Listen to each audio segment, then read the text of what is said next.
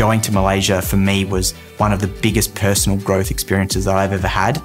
I want everyone to get the same opportunities I did because I think there's a lot to learn from studying internationally.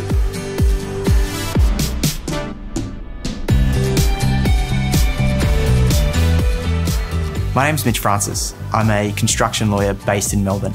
Through the New Colombo Plan Scholarship, I was able to travel to Malaysia and live, work, and study there for a year.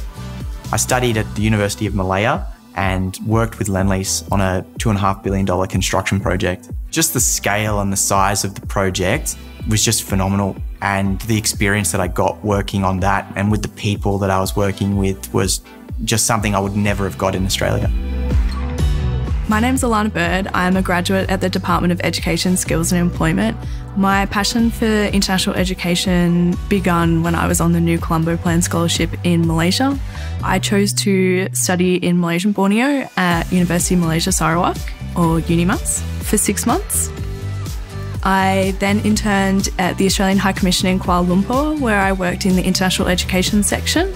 It was through this internship that I realised how important it was to improve access and remove barriers to education. For me, Malaysia really stood out because of the multiculturalism, and I saw it as a real opportunity to get some exposure to a number of different cultures and to really experience Asia. People were really proud of their culture and that really shone in the workplace. Living in Borneo was a really unique experience. If you even ask Malaysians on the East Coast, they say it's like another country. The culture, even the language is a little bit different. The food is way different as well. Sarawak laksa is way better. I have a lot of fond memories of KL, you know, going out with locals and letting them order for you, you know, not, not asking what, what something is and just eating it. KL is such a diverse place to live, not just with the cultures, but with the landscape, the food, the languages. One weekend I could go to these beautiful islands, and the next weekend I could be in the jungle. It's really unlike any other place in the world.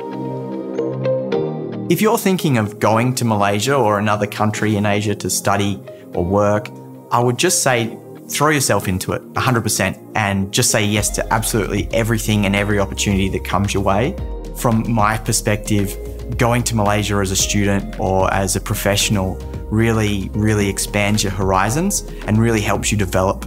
Having that international component of my degree really encouraged me to go to places I would have never imagined, and it really pushed me outside of my comfort zone. I'm really interested in Australia Malaysia's bilateral education relationship because I think we have so much to learn from each other I really don't think that I would have been able to reach where I am today unless I had been to Malaysia and got the experience and the exposure that I did there. So it's really set me up in my career and really propelled me on a trajectory that I wouldn't have imagined when I was studying. This whole experience has inspired me to pursue a career in international education, and I'd love to work more with the region in the future. Studying and living in Malaysia was the best experience of my life.